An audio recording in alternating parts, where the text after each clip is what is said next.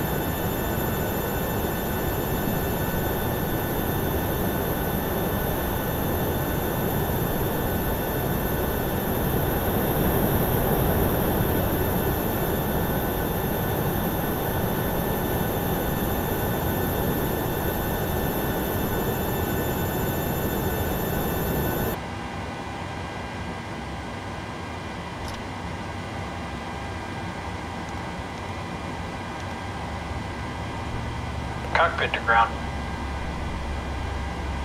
Go ahead. We've been cleared for pushback and start. They want the tail to our left. Roger that. Ready for pushback. Tail to the left. Release brake brake, please.